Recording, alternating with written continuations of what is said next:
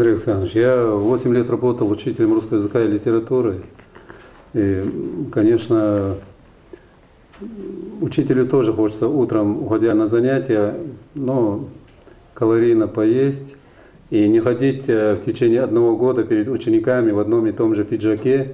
Конечно, вот это на будущее, вот э, то, что это отразится на его материальном и так далее в будущем, это да, но если говорить в целом о стране, наверное, у нас в стране учителя хотят, чтобы сегодня, вот понимаете, это, это конечно, в целом общегосударственная э, проблема, и э, здесь, э, на мой взгляд, э, взаимосвязано все это.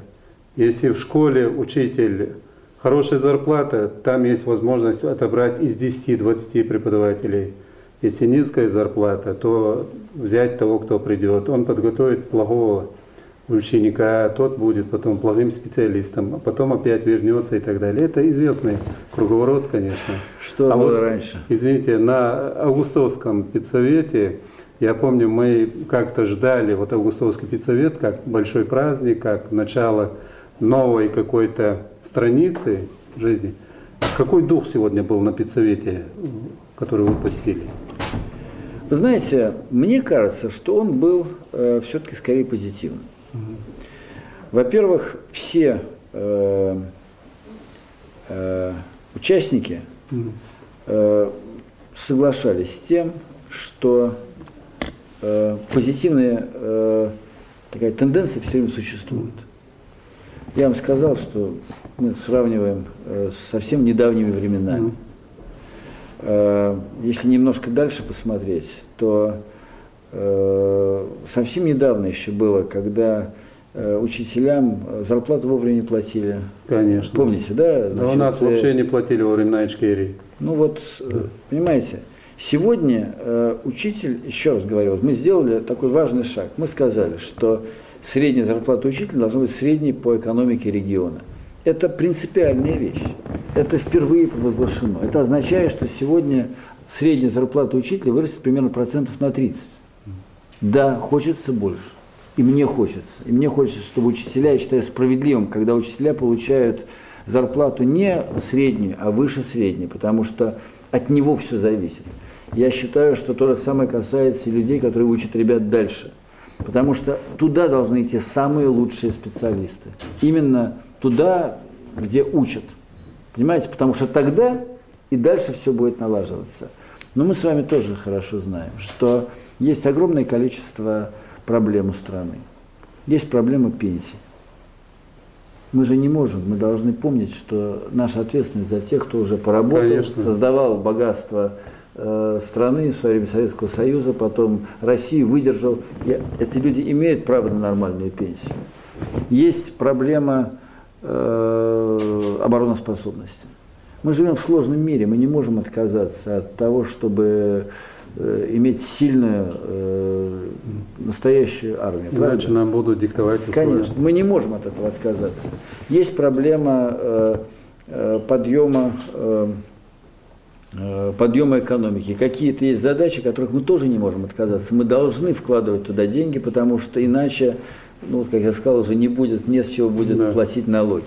Поэтому э, такая сложная ситуация, и мы каждый раз, э, э, я говорю, руководство страны стоит всегда перед выбором, на что дать деньги. И то, что было принято решение, что за ближайшие два учебных года из федерального бюджета на те задачи, которые должны решать регионы, будет дополнительно выделено 120 миллиардов, в том числе для того, чтобы обеспечить поднятие зарплаты э, учителей, чтобы создать лучшие условия для учебы. Это все-таки очень важный шаг. Правда, это сигнал, что и для руководителей регионов, и для муниципалитетов, что государство считает это важнейшим приоритетом.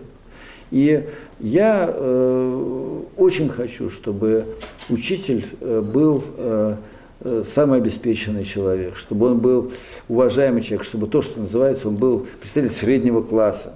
Вот. Но при этом я точно так же э, хочу, чтобы каждый учитель понял, помнил, что главный человек в школе – это ученик. Что если не будет учеников, то учителя будут ни к чему. И если он не научит хорошо учеников, то он не выполнит свою вот главную миссию. И важно то, что большинство наших учителей эту миссию выполняют. Они берут на себя ответственность, они идут вперед.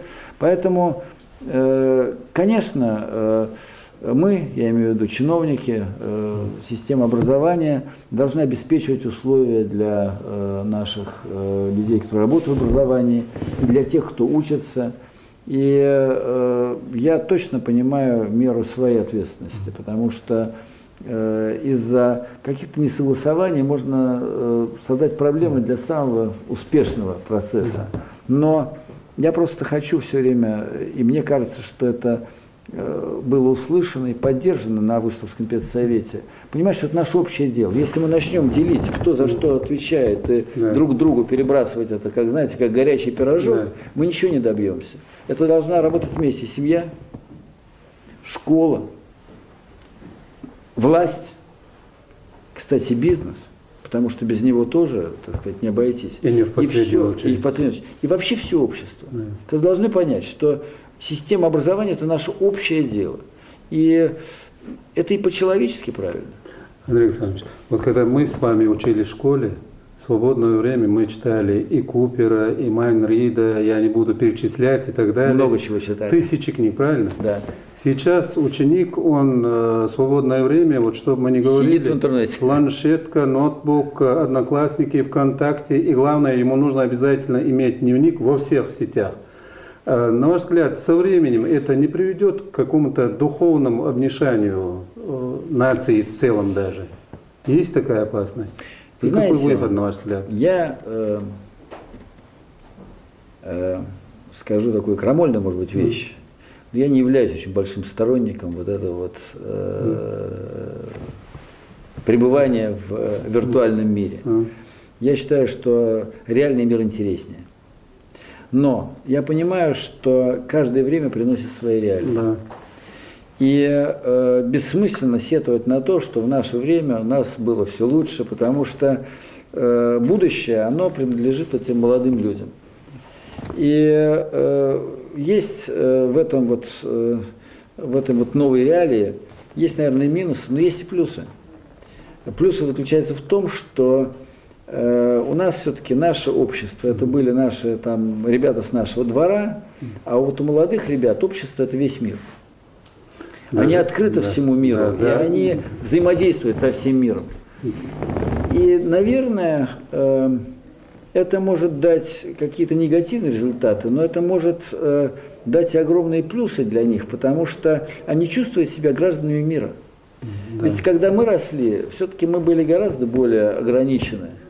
У нас Э, была граница, мы считали, что эту границу пересечь, в общем, да. нам не очень хотелось, потому что считали, что это невозможно. А сегодня им принадлежит весь мир. Да. И я думаю, что наша задача сегодня не ограничивать их как-то, не говорить что-то неправильно, а с одной стороны э, обращать внимание на э, риски, на опасности, но в гораздо большей степени развивать то положительное, что вот в этих возможностях есть. Я думаю, что это, в общем, задача как раз учителя. Ну, возможно, э, я думаю, что вы правы. Не могу я сказать министру федеральному. Легко, возможно, легко можно да. сказать, что министр ну, не тогда, прав. Возможно, вы правы. Даже в трудах Аристотеля содержится критика, значит, молодого поколения. Вот. Это для нас характерно. Ну и один вопрос. А вы, как министр, являетесь, образно говоря, главным учителем России. И Чеченской Республике, в системе образования, журнал, где написано «Чеченская Республика», образование, вы какую оценку, если она будет не очень неприятной для Музаева, какую поставили? Я думаю, что можно ставить четверку. Я думаю, что пятерку ставить рано. Mm потому что есть много проблем, которых я а сказал. А есть регионы, где вы тройку поставили бы? Знаете, э, даже, наверное, тройку с минусом поставил бы. К сожалению. К сожалению, к огромному сожалению. Но, э, понимаете, двойку не поставил бы нигде, по одной простой причине. Нет регионов, в которых не было бы замечательных учителей, в которых не было очень хороших ребят, и в которых бы э, не было э, желание, если, может быть, даже не руководителя, то, по крайней мере, каких-то людей в системе образования сделать ее лучше. Поэтому, э, э, наверное, и пятерку тоже сегодня ставить нигде нельзя. Поэтому я считаю, что вот эта честность, с которой относится к образованию в Чеченской Республике, она повышает балл. Это была программа «Диалоги». Сегодня у нас в гостях был министр образования и науки Российской Федерации Андрей Александрович Фурсенко. Андрей Александрович, я вам очень благодарен. Спасибо вам.